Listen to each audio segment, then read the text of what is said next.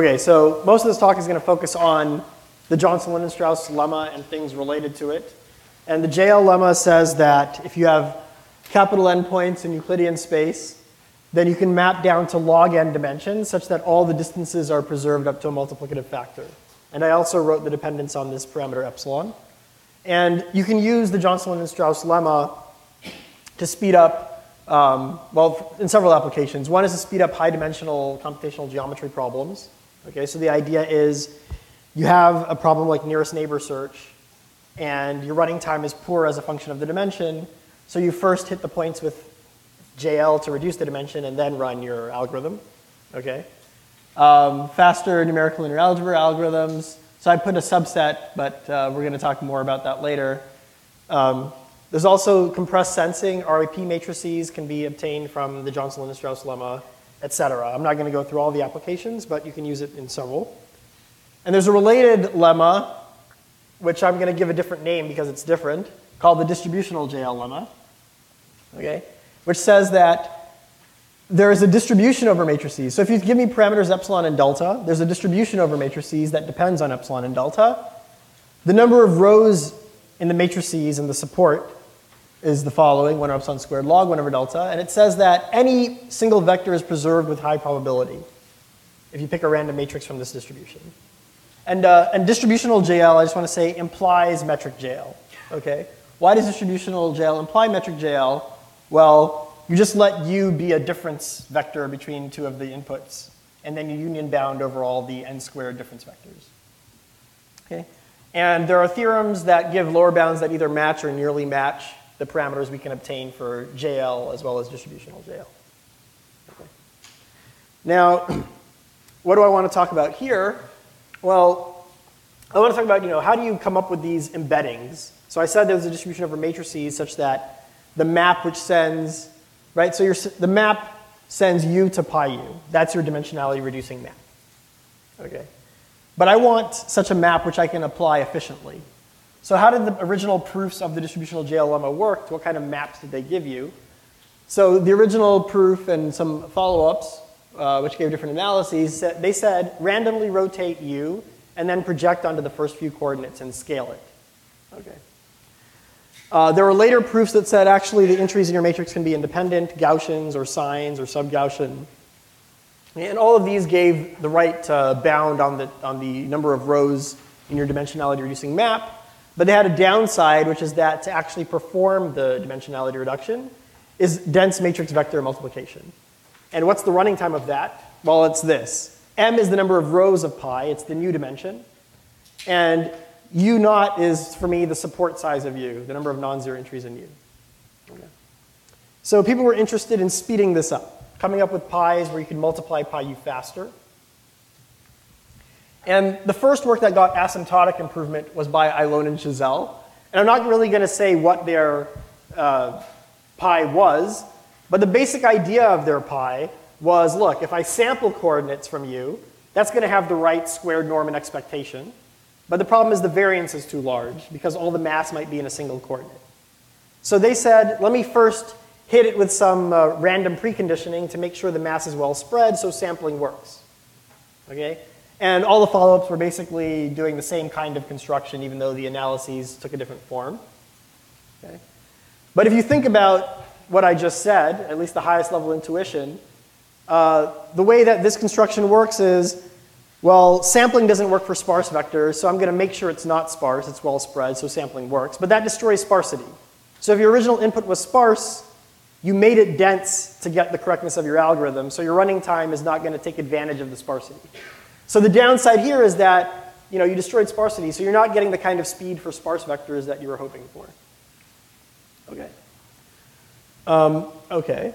So I, I, say I claim that we do care about you know inputs that are sparse. So for example, especially in machine learning, document is bag of words, number of occurrences of word i is the ith entry of, of your vector, for example.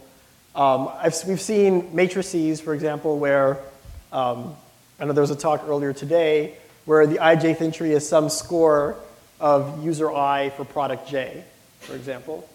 Okay. Uh, I think the first talk of the day talking about in, uh, matrix factorization was talking about sparse matrices. Um, but you can come up with lots of examples where the input is expected to be sparse. Okay. So we want something that's fast for sparse vectors. And one way to embed sparse vectors faster, okay, let's not go with the Ailon-Chazelle approach because that's going to be slow for sparse vectors. Well, another way to make, to make the embedding faster is to use sparse matrices. Make pi sparse. Okay. So what's the best we can hope to get there, or what's the best we can get there? So I wrote some bounds here. So for me, little s is the number of non-zero entries per column in pi. So it's column-wise sparse. So the embedding time, multiplying pi times u, takes time s times the support size of u. Okay. And the original proof of JL took s to be about m. I mean, it, it took s to be m. It was a dense random matrix. And Achlioptas showed, using a sparse sign matrix, that you can get the same m, even with the constant factor being the same, but s will be m over 3. And then there was, there was, um, there were some improvements later, and finally what we know now, this is work I did with Daniel Kane, is you can get m to be the same, okay, and will be well, up to a constant, 1 over epsilon squared log 1 over delta, and s will be better by a factor of epsilon. So there is a construction of pi which gets you sparsity that's uh, non-trivially better, okay, asymptotically better. And I'm just going to say a little bit about what that construction is. It's not going to be the focus of this talk. Oh, and I want to say two other things. One thing is that later we showed um, with Huy Nguyen that basically this, this S is optimal up to a log 1 over epsilon. And if you're willing to blow up m, depend, there's a dependence on delta here. Instead of log 1 over delta, it's 1 over delta. You can even get s to be 1. That's not really good for JL applications, but it's good for streaming and some other applications. Okay, so um, let me just skip to what our constructions are. So the second two, what we show is that you can use either of, of the middle row as your pi or the third row as your pi. I wrote it in a funny way, but I'm going to write it in matrix form soon. It's something simple. So here's the idea. So that top vector here is your, is your vector u. And for each coordinate of u, what you do is you map it randomly to one of your m locations, and you add it there with a random sign. And you hash it s times without replacement randomly. Another thing you can do is you break up the target vector into m over into s blocks, each of equal size m over s, and you map each coordinate in u to a random, a random location in each block independently. Okay? And we show that either of these gets the correct, uh, the M and S that I showed you from the last slide. In matrix form, this is what our constructions are. Okay, so they're very simple. The top one is just pick S random locations in each column. Okay, exactly S, not expected S, but exactly S, and put random signs there. The second construction is break up your row space into S blocks, each of equal size M over S, and each block will have exactly one random location, which is a sign normalized by root s. Okay, so that's, that's pi. Okay, and we show that using these pi's, you can get non-trivial improvement. And there's an open problem there related to uh, the previous work of Achlioptas. So if you've seen these kinds of JL things before, this might look familiar. If not, don't worry, I'll tell you exactly what I want to say. So um, one pi that works is picking a random sign matrix, for example. And what Achlioptas showed is actually you can pick a random sign matrix where you zero out two-thirds of the entries at random. So independently, each entry of pi is either zero with probability two-thirds, or it's a random sign properly normalized. Okay? And what we show in our work is actually we eliminate the variance in the number of non-zeros per column. Instead of saying that you have an expected S non-zeros per column, we enforce that there's exactly S non-zeros per column. And this actually helps. Okay, so we prove that if you have expected, well, first of all, there was a previous work that showed if you go with this approach of independent entries with an expected S non-zeros per column, you can't get any more than a constant factor improvement. That was known. But if you enforce that they're exactly S, then we actually get S to be uh, non-trivially small. Okay? And the open problem is this conjecture. The conjecture is basically that having exactly S instead of expected S is strictly better in the strongest form of the, of the word better, okay? Which is that if you look at the error random variable, when you have exactly S, it's stochastically dominated by the error random variable where you have expected S. Okay? Meaning that if you draw the tail-bound curves, one is always above the other. Meaning it's always better to use exactly S. So that's a conjecture, it's not proven. Um, okay. So I'll say one slide about how we prove uh, our result here, and then I'll move on to some other stuff. But in both constructions, you can write pi ij. Pi is your dimensionality reducing matrix. Pi ij is a delta ij. This is either 0 or 1. Delta ij just tells you whether or not the ijth entry is, is 0 or non-zero. Sigma ij is a random sign, and there's this normalization. And you can write out the error random variable. So u is a unit norm vector, let's say, and pi u squared should be the same as u squared, which is 1. So the error random variable is this thing if you expand it. And the thing to note is that it's a quadratic form in the sigmas, where there's this matrix B that depends on x and the deltas. And the way we analyze it is, okay, you can write down what this matrix B is. It's, this is just the technical details, it's not that important. But the point is, whenever you have a quadratic form in random signs, there's actually something in the literature called the Hanson-Wright inequality, which, tell, which tells you exactly how uh, quadratic forms and random signs decay. And the way that it decays depends on the operator norm of this matrix B as well as the Frobenius norm of B. We bound those things in the paper, and that's how we get our results. Okay, so that's it. That's all I want to say about that. Okay, so that's JL, preserving, random, preserving vectors. Okay, I want a distribution that preserves an arbitrary vector. Where do we go from here? Okay. What next? So this is what I said just now. So I said that if you have u an arbitrary vector and pi is a sparse sign matrix, the one with exactly s non-zeros per column, as long as you have enough rows and enough uh, sparsity, um, you'll get that with high probability you preserve the norm. What's L here? I kind of glossed over it, but uh, the way that we analyzed this was using the moment method with the Lth moment. Okay, so you apply Markov's inequality to the Lth moment. Okay, that's a technical detail. Don't worry about L too much if you don't care. Okay, so what's the matrix extension? Well, what is, an, what is a, a unit vector in Rn? It's an n by 1 matrix with orthonormal columns. Ortho doesn't mean anything if you have one column, but of course I'm going to change it from one column to more. The conjecture is that you can change the one column to d columns, okay, and then get d's in your bounds. Okay, so now u is not a, a unit norm vector. It's an n by d matrix with orthonormal columns. Okay, and I'm saying with high probability, uh, pi u transpose pi u is close to the identity. Okay, I'm going to say a little bit more about what this means.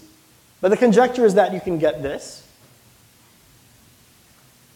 And what we prove is that you can get it basically up to log factors. Okay.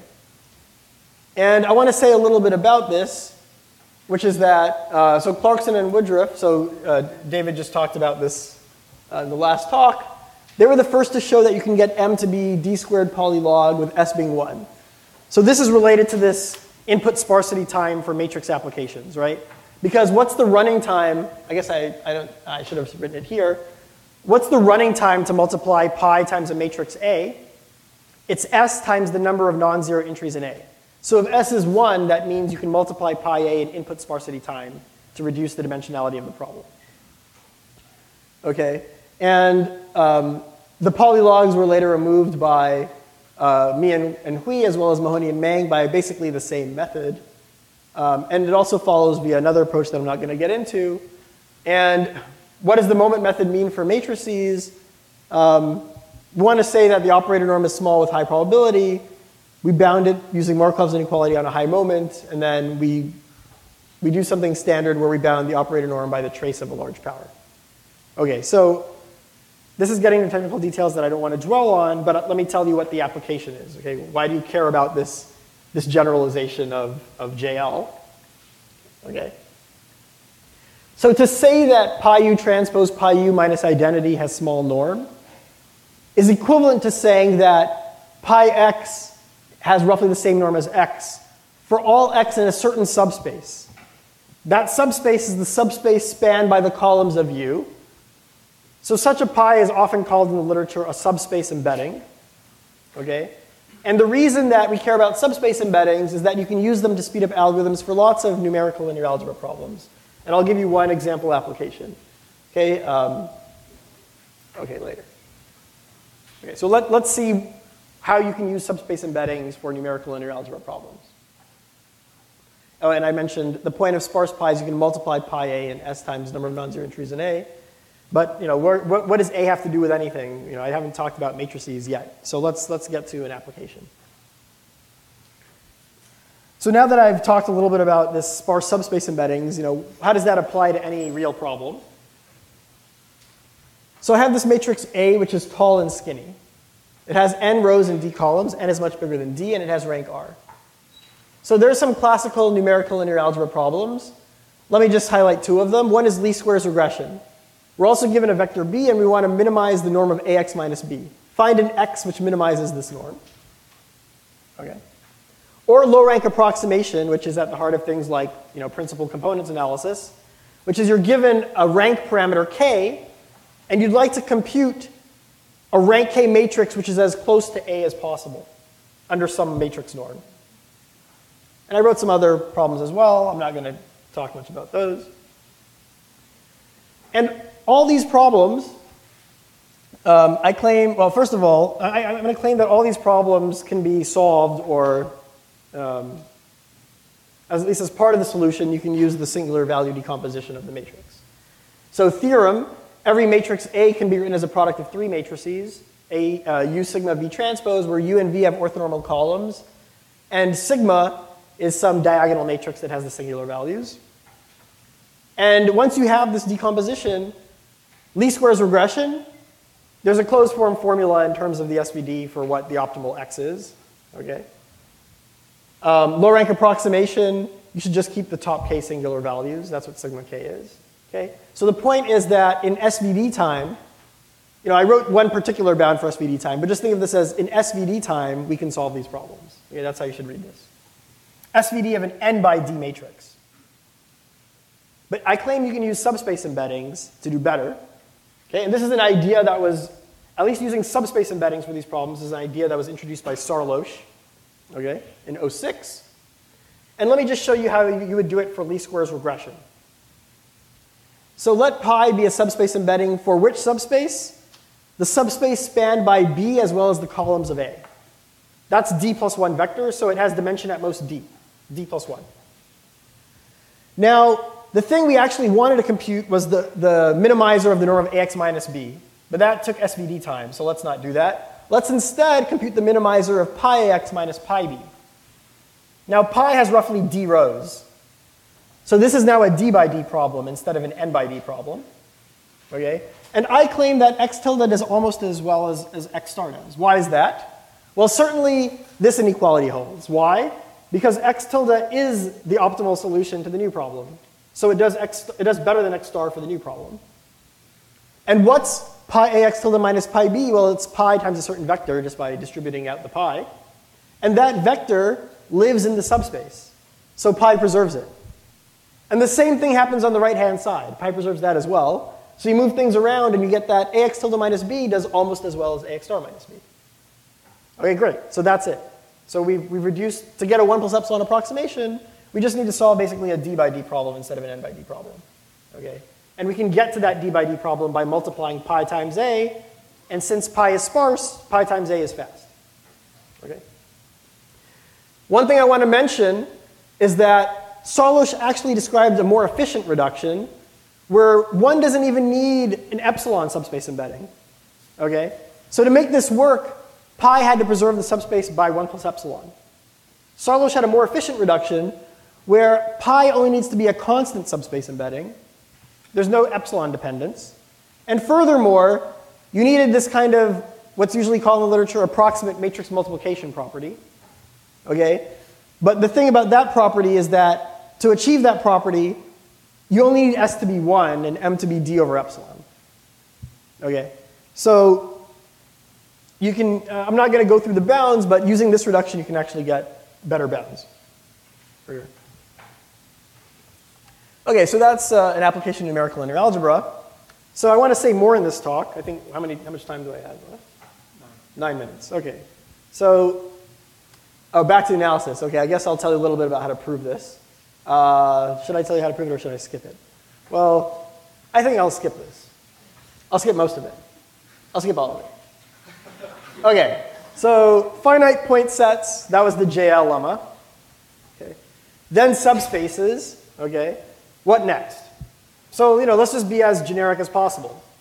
So we have a set T of vectors, and pi is our random sparse matrix. And we want pi u to have roughly the same norm as u for all u in the set T. And we want m, the new dimension, to be as small as possible. Okay.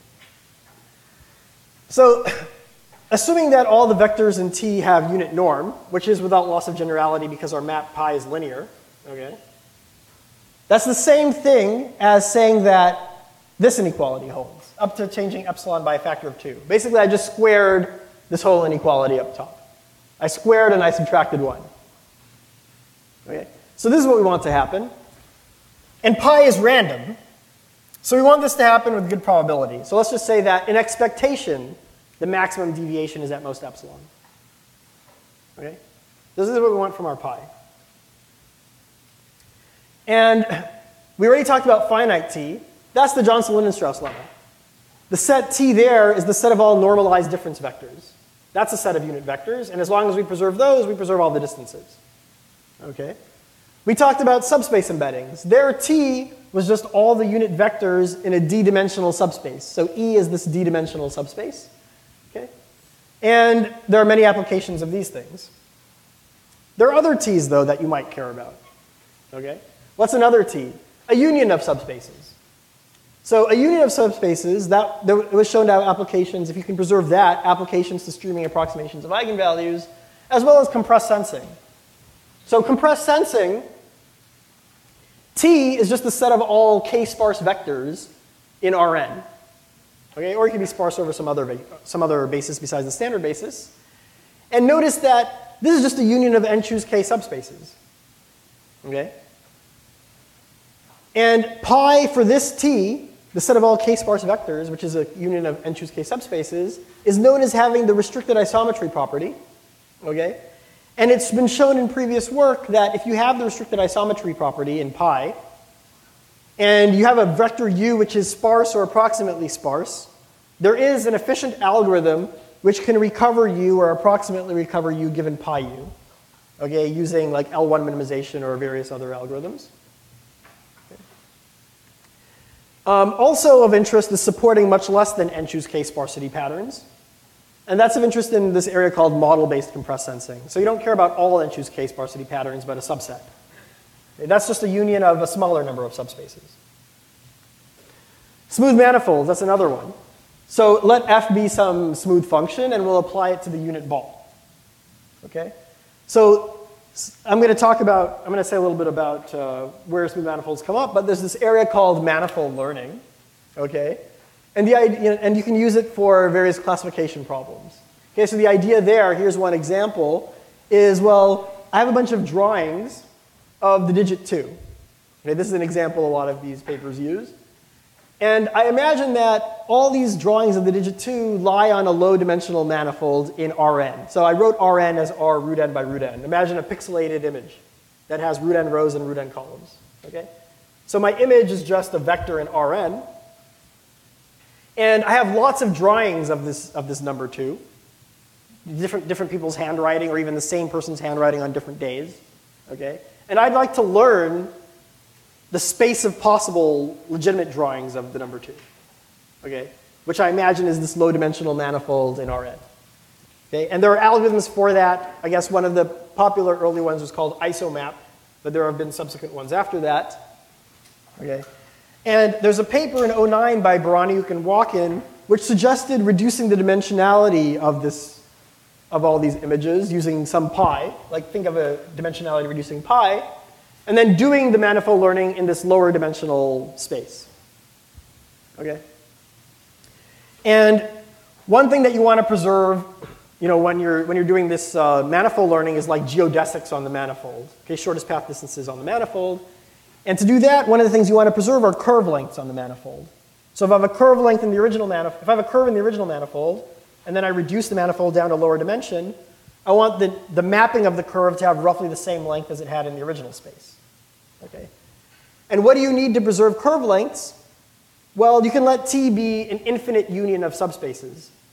So for every point in the manifold, I take the tangent space, that's a subspace, and I take the union over all these tangent spaces. If you can preserve those, okay, then you'll preserve curve lengths. Okay, so that's another T. But you can sit there and come up with lots of T's as you want, okay? I'm not gonna, so this is the last T I'm gonna talk about. Oh, so can we do better than the JL lemma? Okay, so that's the question, okay? So the JL lemma, as I stated, I mentioned there's this lower bound of Alon, which says that if T is the following set of vectors, then M has to be roughly uh, what the JL lemma promises you. But the thing that's not satisfying about this lower bound is it's kind of a worst case lower bound in the sense of there exists a t which makes the JL lemma tight. Okay? But the t that I care about might not be an arbitrary t. It might be a t with a certain structure. For example, a linear subspace or a union of subspaces, etc. Okay? So this kind of lower bound is not satisfying from that perspective. I want to understand as a function of t itself, what's the best dimension I can get?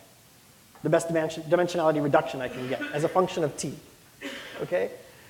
So this is kind of this beyond worst case analysis. So I want to say a previously known theorem, okay? Suppose that the entries of pi are IID Gaussians. Gordon's theorem in the 80s said that actually m doesn't need to be log the size of t over epsilon squared, but it can be the squared Gaussian mean width of t over epsilon squared. What's the Gaussian mean width? You take a random Gaussian and you take the maximum dot product, over all the vectors in T, okay? And you take the expectation of that quantity. That's the Gaussian mean width, okay? It's always at most log the size of T. So this is strictly stronger than the JL lemma. This basically recovers the correct M for lots of, um, for lots of different examples, okay? But the problem with this, oh, and you can also pick random signs or random sub-Gaussians, it doesn't matter. But the problem is the same as before, which is this pi is dense. It's a random sign matrix, it's a random Gaussian matrix. It's not this sparse matrix I told you about. Okay? And again, the sparse JL lemma I had with Kane was nearly optimal. We had a lower bound. But it's nearly optimal again in the worst case sense. There exists a set of vectors which makes it nearly optimal. It's not a function of t. So the question that we cared about later was, can we get a Gordon type theorem to understand how to set not only m, but also the column sparsity of pi as a function of t. Okay? And what we showed in joint work with Bourgain is that actually you can get a theorem which um, kind of gives the right answer qualitatively for all the applications we know. Okay? And I say qualitatively because I hide factors, I hide a 1 over epsilon factor as well as log dimension factors okay? But you can get things for smooth manifolds, unions of subspaces, etc. Okay. Um, okay. Uh, okay, and let's, what do I want to say? So basically, this is our main theorem. Okay, it's kind of annoying to parse, and since I'm basically almost out of, one minute, so the theorem just says, look, okay, so m can be the Gaussian mean width squared of t. S can be basically anything as long as some inequality holds. And this inequality is, if you see, there's a sup over u and t. It's a function of t. And in all the examples we, I mentioned on the last slide, you can compute this thing. Okay, and you can see, you can see what M and S pop out. Okay? And you can run through all the examples and compute it, and it's not too hard. I'm not going to go through this. Um, maybe the last thing I'll say in my last minute is one example new application which wasn't known before. So the manifold you know, this, the smooth manifolds thing with sparsity wasn't known. But let's say unions of subspaces. Okay, so suppose you're doing model-based compressed sensing where the number of sparsity patterns you care about is much less than 2 to the k. An example is block sparsity, where I imagine that U is divided into n over, n over b blocks of size b, and each block is either on or off. If a block is off, it's all zeros. If it's on, they could all be non-zero. Sparsity k means that most k over b blocks are on. Okay?